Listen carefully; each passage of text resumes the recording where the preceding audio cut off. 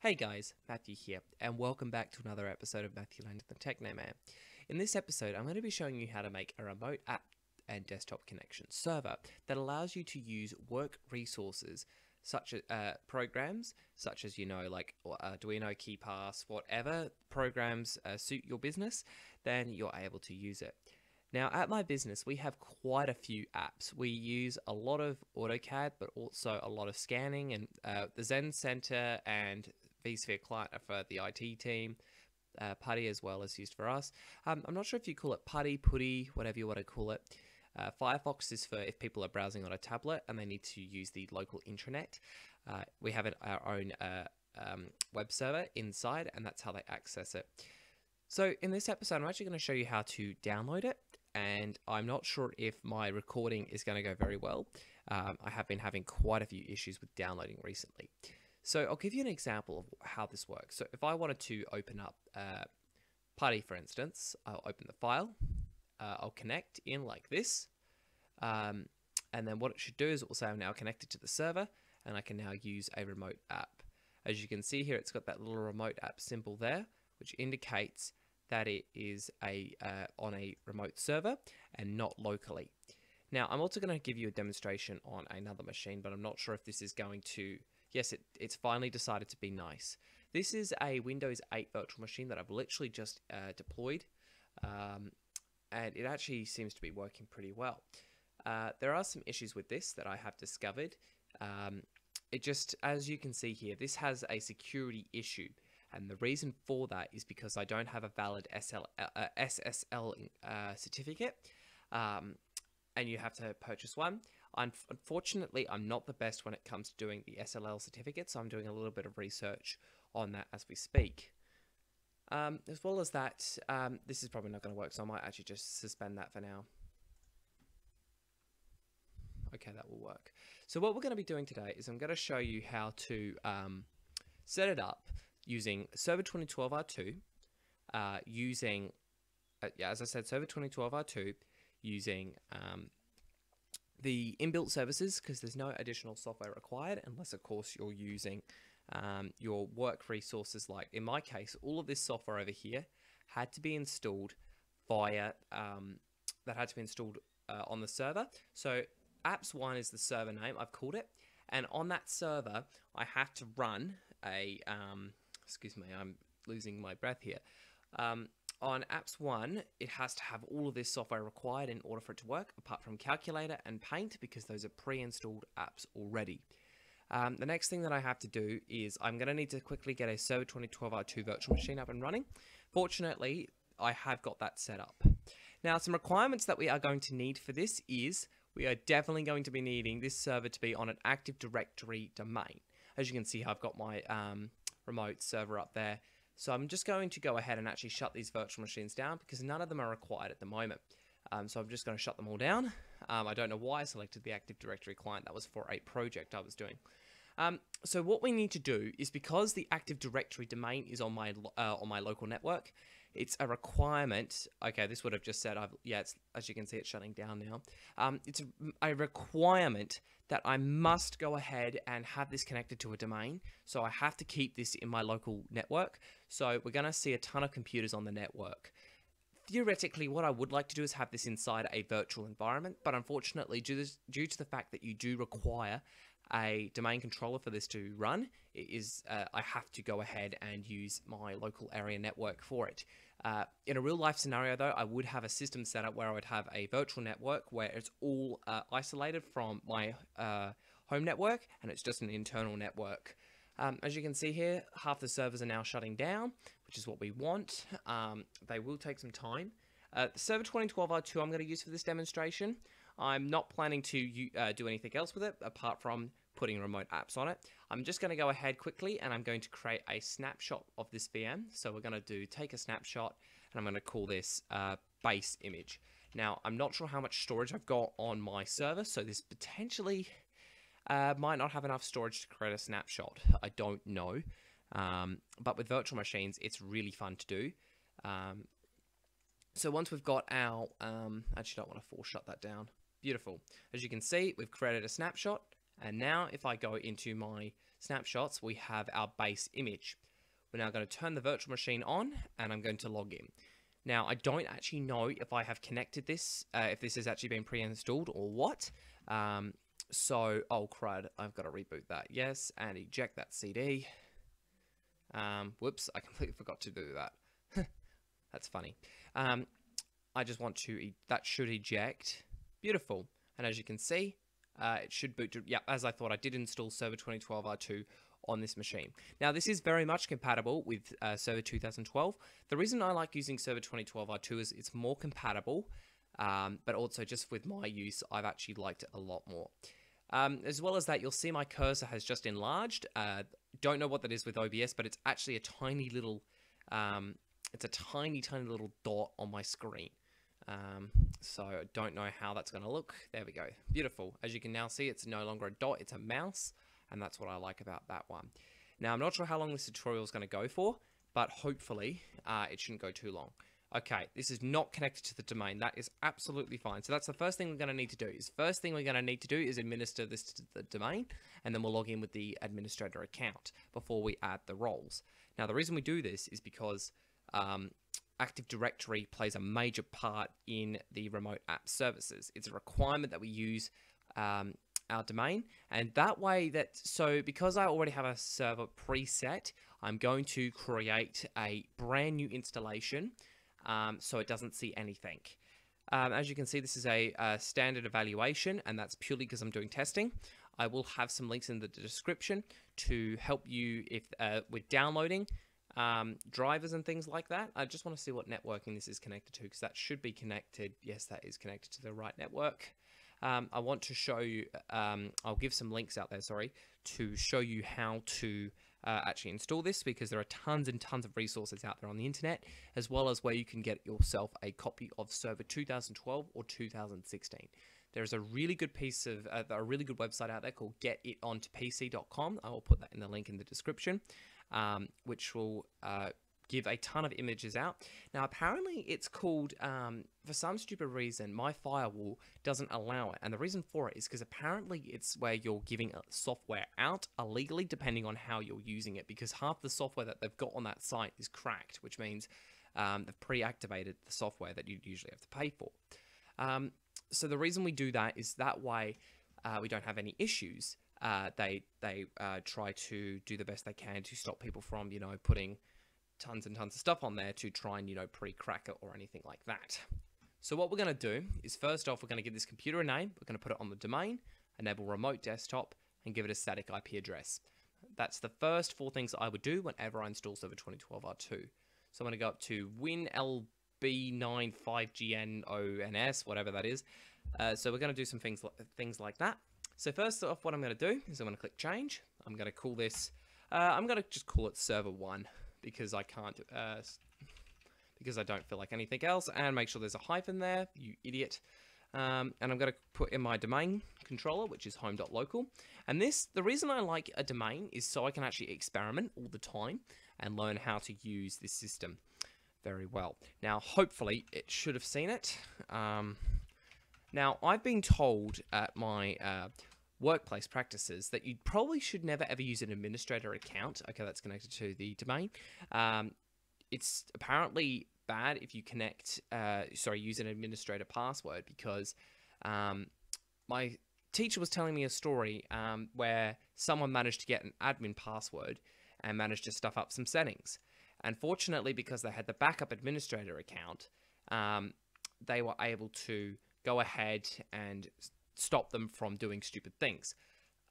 Um, so they did manage to fix it in the end, but they used the main administrator account, which I'm using. So I think it's more as a fail-safe, um, and so that's why I think they use it. Now I'm going to give this one 136. Um, subnet mask is 255, 25. Oh, if this thing's going to be nice to me, 255, 255, and then I'm going to put in my default gateway, which is this one. Um, then I'm also going to put in the DNS server, which in this case will be the domain controller. And then finally, I'm going to put in Google's server uh, because that's how we've got our network configured here. So that's now all static and IP addressed. And as you can see, I'm also going to actually turn off the firewall because the firewall actually does interfere with the network. So we're going to turn all those off and um, we actually have an inbuilt firewall into our system anyway, so there's no need to use that. Okay, so that's now done. We're going to reboot this server and then we can get into the meat and potatoes. So we're going to now go ahead and plan that and we'll watch the server reboot. Now, because my XenServer has an SSD in it, uh, it's got two uh, 256 gigabyte SSDs in it. It should be ridiculously quick at rebooting. The server that I'm using has a Core 2 Duo E8500 in it with 8 gigs of RAM, um, and it's a pretty decent system. Um, I do hopefully plan to get a big server at some point with like two Xeons in them and 128 gigs of RAM. Um, I'm just trying to get that sorted as we speak. As you can see, it's already boot- rebooted. As well as that with virtual machines, there's no need to do too much writing or reading um, because I can't actually remember uh, what the whole reason for it is, but um, with virtual machines, they can be a lot quicker without building a system. Uh, without having to do, you know, as much as a computer here. Because Nuts and Bolts, my main uh, system, which is a HP Pavilion, uh, has an SSD in it and it boots ridiculously quick. With a hard drive, though, it was absolutely slow. Um, I feel like Server 2012 R2, though, doesn't have to uh, do a lot of checks that Windows um, 7, 8, 10, and all that does. Um, it purely pr probably uses um, its service. It probably uses a lot less services than Windows does. Um, so yes, now we're going to log in as the domain administrator account. Uh, I'm going to now full screen that, and I'm no longer going to log in as server one. We're going to now go to home slash administrator. Now I've called my domain home. You can call your domain whatever you want to call it. Um, it has taken me about three years to understand Active Directory, and that is a huge thing for me uh, to actually get an understanding of what Active Directory is. Um, fortunately now, um, looks like OBS is actually not doing too bad, and we've been recording for about 12 and a bit minutes, so we're, we're looking good so far for our system. Now, because I've actually created a snapshot, once I've finished this tutorial, I, I'm going to go back to the base image, and I'm going to refer that back. Okay, so now that we have this is all activated, we're going to now go the server manager will launch, and then we finally get to install the app services. Once this is done, you can uh, run this on Mac, Windows, Linux, or a tablet. Um, I've tried them on all, um, and the next episode that's coming up, I'll show you how to actually do that. So today, we're configuring the actual server itself, and then once we've done that, I will show you how to manage it through Linux, Windows, whatever you want to manage it with, and then finally, um, we'll go ahead and um, I'll show you how to actually use it because for this demonstration, I'm going to install two programs on there. I'm going to install um, Google Chrome and I'm going to install uh, what's a good program I can install? I'm going to install Chrome and KeePass on there because KeePass is a really important so piece of software that I use. Next thing that I'm going to do is I'm going to go now up to Manage. I'm going to click Add Roles and Features. I'm going to now go here. I'm going to go to Remote Desktop Services Installation. This is a huge uh, part that you do need to uh, tick. So I'm going to select that, as you can see. Going to click Next. Now we've got a lot of things to start talking about. Now, standard deployment is where it deploys to uh, multiple servers, but because I don't want to show this, we're going to do quick start, which means uh, we're purely going to be using uh, this server as a brand new server and it's only one server instead of multiple. We're then going to, de the deployment scenario should be one, I believe. Ah, yes, here we go. You want to either do virtual machine based or session based. Now, because I don't have the uh, capability to do virtual machine based uh, desktop deployment, I'm actually going to do just session, session based, which means it's running on the local server itself. Um, with virtual machine based deployment, it will have certain VMs that has certain software on it, and then you log into a VM. But we're not going to do that. We're going to do a session based deployment, which will then use uh, the IIS uh, ser uh, server role in here. Um, we're going to now select the server. As you can see, server one's been selected. We're then going to click next. And then finally, we're going to confirm. And then we're going to deploy. Now, this does take some time, so I'll be back once it's finished. Um, because it actually took about an hour last time I did it. Um, it shouldn't take too long now, um, depending on how we're going. Now what we are going to need to do though is we are going to need to click restart the destination server uh, automatically if required. That is an absolute must.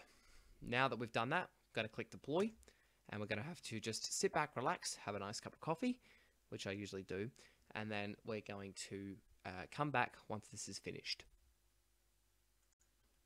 Okay, welcome back. So what's just happened now is the server has had an update, uh, has now um, finished the first part. As you can see, it's now just rebooting, um, and then it should come back, and then we've got to relog back in and let it finish again. Um, as I said, this task does take quite some time, so I will be back once this is finished. Okay, so it's going to look a little something like this because apparently you might think, hey, I've just booted it up and it's not going to install. Well, that's usually the case. I have experienced this in the past, so we have to go ahead and actually get the next part done. So add roles and features. Um, in theory, that should have come up, and I'm confused why it hasn't. So um, we're going to go back into, um, we're going to click add roles and features and then select the remote desktop services installation. Now, for some stupid reason, it hasn't decided to bring up the install, so we're going to have to do this manually. Uh, usually in a case scenario, it will have the remote desktop services enabled. As you can see, it's installed half the things that we need. We need to install all of them, uh, add features, and apart from the remote desktop virtualization host, otherwise you'll be having problems. Um, so I think that's what we need. We're going to click next and then install. Um, I actually swore at this thing one time because it got uh, I got super frustrated with it. Um, and the reason for it is because it's so detailed. This is like um, networking and administrator stuff um, for 20 year olds. So it's quite difficult to work with. Um, especially for me, the security issue is one of the downsides that I have issues with. Other than that, the installation part of it's fine. The installing apps and publishing apps is fine. Everything else is fine apart from that SLL issue. Um, so, other than that, it's completely fine, and I'm happy with it. So, well, cool. Um, now we've just finished the installation, uh, which has started on the server, as I've called it, server one, uh. And as well as that, I should now be able to do this. So if I now type in server one, I should be able to, yep, as I thought, I should be able to remote in and we'll log in as home slash administrator and then log in. And as you can see, that should hopefully, this one should now go from there into that. Now I have two monitors, so what will happen is I won't have OBS on my secondary screen, so I'll have no idea what I'm doing. Uh, but as you can see now, I've got my desktop, back to remote desktop. Uh, so desktop and remote desktop. Now hopefully this will load and not be a stubborn pain in the neck. Fortunately it's not, and boom, boom, boom. There we go. Um, so yes, I have two. Um, I have two displays that I connect to um, purely because I find it way easier to. So I might actually, just for this demonstration though, I'll go up to my uh, display and I'll just use my one monitor here. Um, we'll log in again, um, and then finally um, go ahead and uh, log back in so I can see the recording. It's actually quite important that I do see OBS um, with the recording, so it's yeah quite important. Um, anyway, it is the Easter weekend, so by the time you guys have seen this, uh, the Easter weekend would be over. So I hope you guys had a lovely Easter weekend. Uh, this is for Australia, obviously, and probably the other people as well. I don't know if you celebrate uh, it in other places, so oh well. Now you'll probably hear music playing in the background because my dad's just started it. So this microphone's so sensitive it picks up like I'm on the second story, and my brother was playing drums and he was on the third. Um, all right, okay, so that's now all installed, and as you can see, uh, we should be able to now go into the servers. And as you can see, it's now uh, installed it. I think we need to now get some things configured. So I'm not sure if the deployment has successfully worked. Um, we do get some issues occasionally time to time. Now this is the RD Gateway Manager, and I'm not sure if that's actually ready. So we'll just uh, go ahead and hopefully, if I refresh that, um, I'm not sure if that's going to actually work or not remote desktop services. As you can see, it's online, but for some stupid reason, it does not want to apply the task. So I'm wondering why has it done that. Um, other than that, um, RD manager, that's very weird. Because um, usually what would happen then after I've done it is um, that should activate. So for some weird reason, I find it really weird. So I've done a deployment, I've added the roles and services, and then select remote desktop services installation option, which I've done. So I'm just going to close out of Server Manager and reopen it. Now, hopefully, we should see, here we go. This is exactly what I was looking for. Uh, I want to also go into the licensing side of things as well, Now, I actually have an inbuilt license server, so I just need to click activate server, next, uh, automatic connection, and that should activate it. Um, now, the one that apps one that I currently use is already activated. Now, you have to put some details in, um, like this, um, and then I have to put in some information, and I will bleep all of this out. As you can see, it's going to activate the licensing server. Um, and now we're going to, obviously, as you can see, it's now activated. We've just got to install our licenses, which is easy enough. And the way it will work is, um, okay, I did not do it that way. I can't remember how I did it. Uh, add to group, here we go. Beautiful. And now if I click OK, there we go. Because it's in a domain, it's already activated and we're okay, it says. So that's the first part. I've now activated. Yes, here we go. As you can now see, the add roles and features wizard has finally come.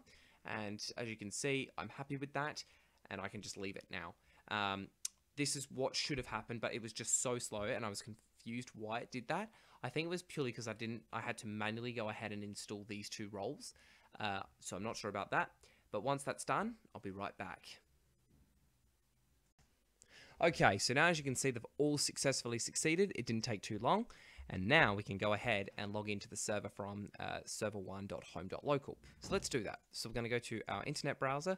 Um, probably we're not going to need, um, we are going to need the HTTPS. Um, and I'm going to type in server1 uh, forward slash rdweb. Now I put in the uh, domain as well, but usually that's not required. I'm going to go advanced, add an exception, confirm that. Now this is purely because I don't have an SLL certificate. Now this is for a testing subject, uh, sorry, for testing, so I don't need an SLL certificate for this. This is just a dirt way, dirt, uh, sorry, that, there's that term dirty and dusty or something like that um, for it. Now anyone that is a um, anyone that is a domain user will have access to it. And as you can see here now, I have three apps assigned. Calculator, Paint, and WordPad. That's it. These are the inbuilt apps that work resources automatically do. Now, I have had some issues in the past where I've had to, um, oh, dogs, in the past where I've had to go ahead and with the quick session connect, it's called, or sorry, the quick session collection, uh, I've had to delete this and redo it. Fortunately, by the sounds of it, it uh, by the looks of it, it doesn't seem to be too bad. Now, I have uh, software installed on my server, and I'm going to use that. Um, and I'm going to install KeePass and Chrome, uh, or just, I probably might just install KeePass and that's it. Um, I'll just see if I can find it because I think I put it in here. Just see if I have it. Okay, I do not have it. That's fine. I'm going to need to install a browser. So, well, in, because I don't have that, um, we're going to need to go ahead and uh, I've got software installed on here that we can use. So I'm just going to see if there's anything that will work.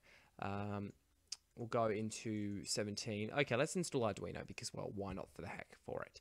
Um, once we've installed that, we'll publish it and then we'll be done and we can use that through a remote connection. Okay, so as you guys can see here now, the Arduino software is installed. The next thing that we're going to need to do now is publish this app. So the way we're going to do that is we're going to click Publish Remote App Programs. Now it's going to retrieve all the programs that are on this server and including Arduino. Now, because this is an x86 program, so that means 32-bit, um, I believe, uh, as I thought, it would not come up. So we need to manually specify its path. So we need to go into Program Files, Arduino, and then it should be there. And as you can see, we've added the program. Next, Publish, and in just a minute that will be published. As you can see, please wait, uh, the remote app programs that you selected are being published to the collection.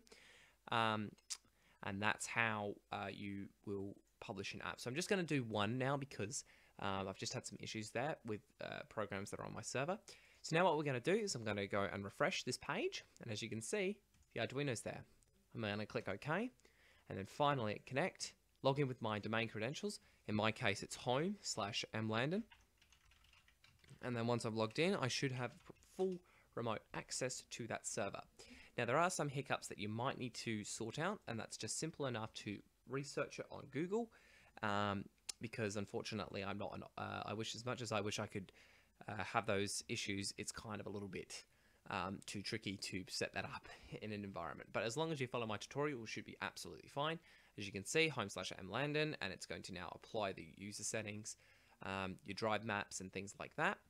And Now it's preparing Windows. Now you won't actually see this. It will look like this realistically, um, but this is just how um, domain users would log onto the server. So now that we actually are connected to Arduino, um, it's now going to start the program and then finally I will have this as a remote app. And as you can see, can you see how this is different? This is a Windows 8 and as you can see that's a Windows 10. So it's completely different to what uh, my desktop looks like. And as you can see here as well, I've got this little icon here. This is indicating that I'm connected to a remote app. Anyway, guys, that's how you set one up. Thank you for very, very much for watching. And if you guys did enjoy this episode, a like and a subscription would be kindly appreciated. Leave a comment in the comment section below, and I will catch you guys in the next one. Bye for now.